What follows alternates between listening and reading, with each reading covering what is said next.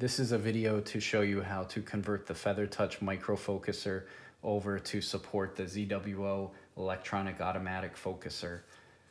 And you need a special bracket from ZWO that they are fabricating. And it's simply gonna slide over the FeatherTouch and it's gonna attach to the EAF. So the first step's to take off the FeatherTouch knobs. And they slide right off.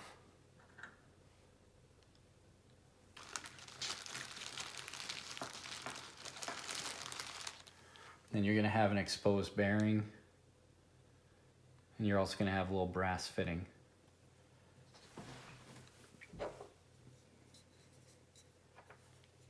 The first step is to slide the focus over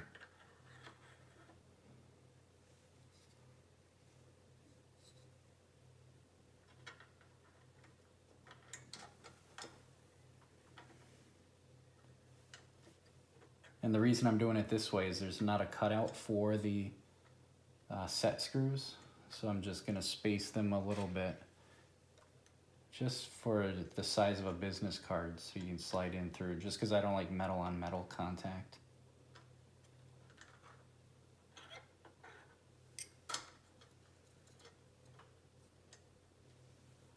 And also I want to make sure the set screws are tapping into the flat part of the FeatherTouch.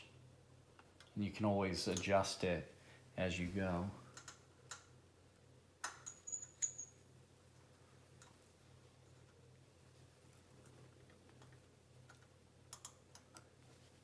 So the flexible coupler is secured to the EAF and to the feather touch focuser. So now I'm going to rotate it slightly just to get the screws lined up.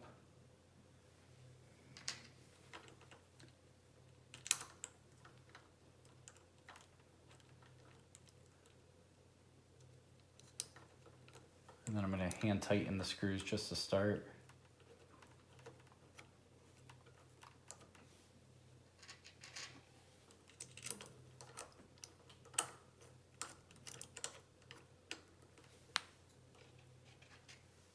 And now I'm gonna use my little Allen wrench to adjust them.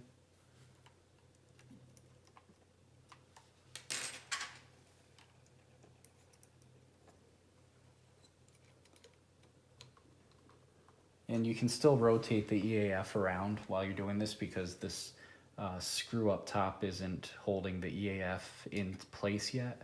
So you can still spin it to however, whatever position you'd like the EAF to be in.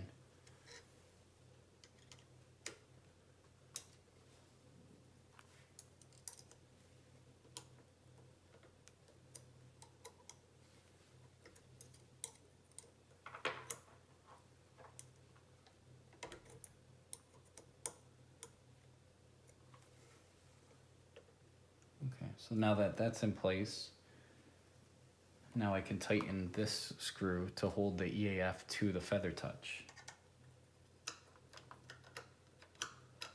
And you can also position the EAF in the orientation that you wish it to be in.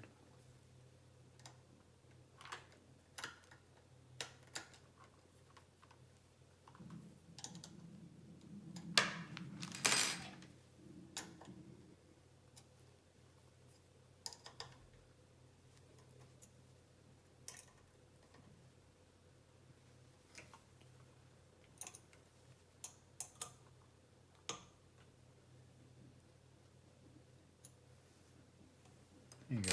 Now it's nice and tight and it's parallel. It's not uneven. And it's all set. So one recommendation I would have on the EAF is just to have, when you're, before you put it on, turn the knob just so the focus is all the way, uh, all the way at zero so it's easier to adjust the focus.